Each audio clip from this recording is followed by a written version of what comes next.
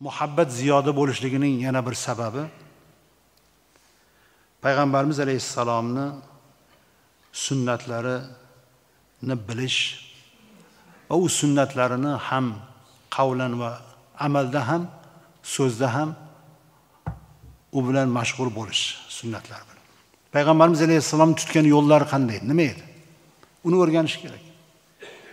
Payg'ambarimiz alayhissalomning sunnatlarini bilish kerak. Sunnatlarni qilish kerak. So'zda ham aytamiz amalda ham qilamiz. So'zda faqat aytgan bilan amalda qilinmasa u davo quruq davo bo'ladi. Har bir davoga hujjat kerak. Agar davolarni hujjatsiz hal qilinsa yer yuzida adolat bo'lmaydi. Har bir davoni hujjat qan deyiladi? Payg'ambarimiz alayhissalomning sunnatlarini bildik. Ha? Davomiz. Qani deydi? Amalda ko'rinishi kerak. Bugungi hayotimizda kuzatgan narsalarimiz oddiy oddiy sunnatlardan bebahramiz. Oddiy. Masalan o'ng qo'l bilan yeb ichish. Ko'p biz endi domla sifatida ko'p yig'inlarda yuramiz. Hayronman. Yaqin o'rtada agar shu ketishda ketsa o'ng qo'l bilan yeyishni unutamiz biz. Katta odam ham shu yoshi ham shu. O'ng qo'l bilan yeb ichish sunnat bu. Bitta sunnat tark bo'lyapti. E'tiborsizligimiz juda ko'payib ketgan. Juda e'tiborsizmiz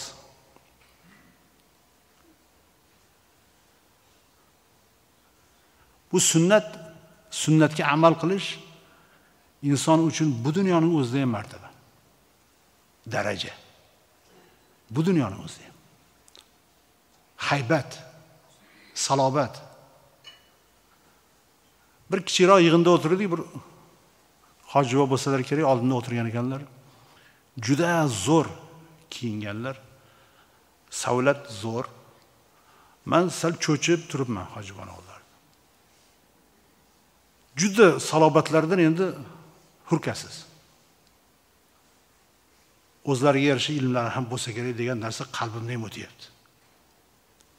Bir mahal dasturxonga marhamat deyildi. Shunday pelani chap qo'lini olib ichdilar bir ho'plab. Haybat shunday oqib ketdi. Hech narsa qolmadi. Mani nazdimda hech haybat qolmadi. Hech qanday salobat qolmadi.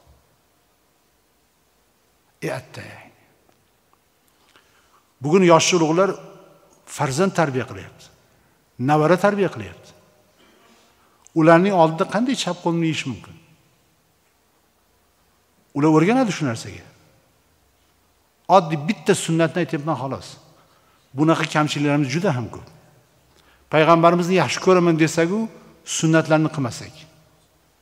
Davo quruq davo bo'ladi. Hujjatimiz yo'q davoni davoga hujjat yo'q. Bildikmi o'sha bilgan narsa amalimizda ko'rinishi kerak. As sunnatu kasafinati nuh. Faman rakibaha naja va man tarakaha g'araq ulug'larimiz aytadilar sunnat bu nuh alayhissalomning kemasiga o'xshaydi. Mingan odam najot topadi minmagan odam g'arq bo'ladi. Biz sunnatni ana shunday. Bu najot bu. Bu baxt bu saodat deb qabul qilishimiz kerak. O'ng qo'l bilan uzatish uni o'ng qo'l bilan qabul qilish sunnat bu. Oddiy narsalar. Bir narsani aylantiradigan bo'lsa o'ng qo'ldan aylantirishlik sunnat. Bir masjidi muborakka keldik. Ustozning nomlaridagi masjid. Oddiy bo'lsa ham zikr qilib o'tamiz. Davralarda o'tiramiz. Ilmiy suhbatlarda o'tiramiz ziyofatlarda o'tiramiz. Bir kun mevani archilagan maydalagan odam meva solingan idishni chap qo'lini uzatdi.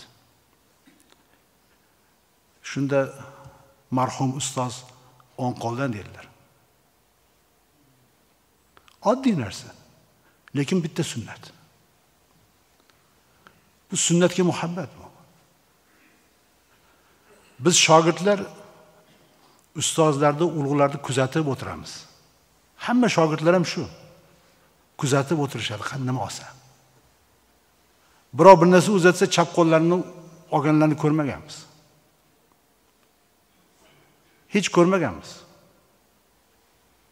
Ana shunday e'tiborli edilar. Oddiy narsayu shu amal qilish mayda mayda oddiy narsalardan bo'ladi. E'tibordan bo'ladi. Bugun bu narsaga jiddiy qarashligimiz kerak.